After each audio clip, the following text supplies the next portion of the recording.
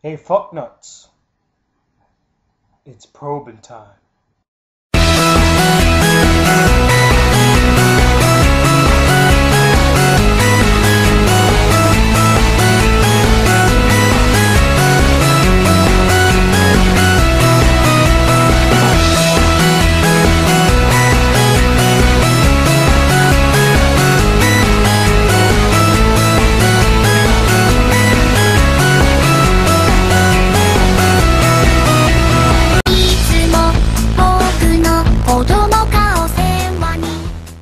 Up, y'all? It's the Black Anime Guy, and it is Spring Break 2011, and man, was today a great day. And I saw Paul.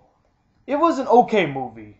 I mean, it wasn't what I expected, but it was an okay movie. The basic premise is best friends Graeme and Clive, played by Simon Pegg and Neil Frost, go on a road trip after Comic Con to visit these famous alien sites. While traveling to visit these sites, they witness a car crash and meet an alien by the name of Paul. The two end up helping Paul escape the clutches of the government and find a way to get back home.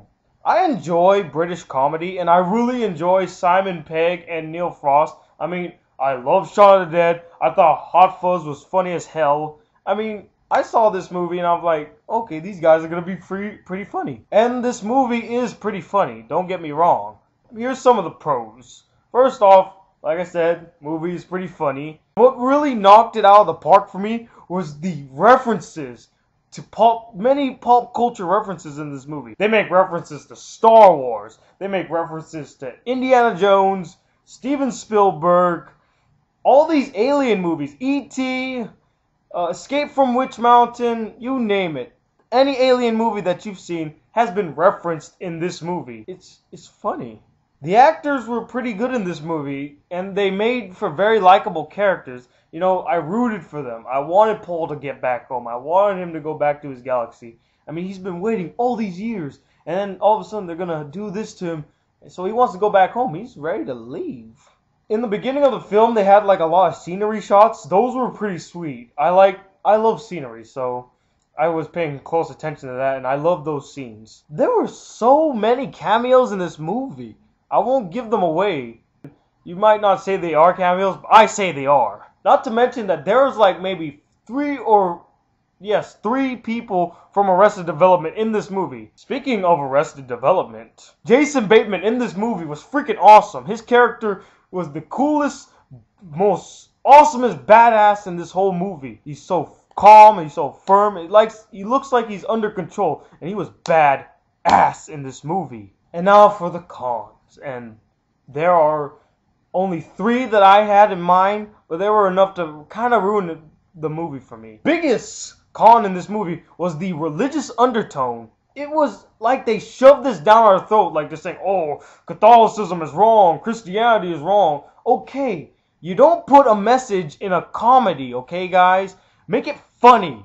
I don't need religious shit in my movies. Not in my comedies, okay? If you're making a drama movie, then you could throw some religious undertone in there. But not in a comedy, especially from Simon Pegg and Neil Frost. No. Don't mix comedy with your beliefs. No, I came to see a joke. I didn't get that. Speaking of jokes, some of the jokes in this movie got really, really, really repetitive. They made a lot of dick jokes. They made a lot of uh, probing jokes. They made a lot of gay jokes. The same recycled joke over and over and over and over and over again. It got boring. Also, speaking of characters, Bill Hader's character really underused in this movie. He had some decent parts and he had some funny parts, but it wasn't what I wanted from Bill Hader. Like in the in the trailers, it made it seem like Bill Hader was Jason Bateman's partner, but in all honesty, he was like this side cop that just came in because he was ordered to go in. He was underused in this movie. But overall, this movie was not an awesome, great, spectacular movie, but I found it very enjoyable. So I will give it a 3.5 out of 5 stars.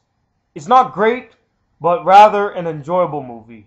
What did you think of the movie? Did you like it? Did you hate it? Comment below. Tell me what you thought. Anyway, this is the Black Anime Guy, and I will see you all later in this week. So keep an eye out. Peace.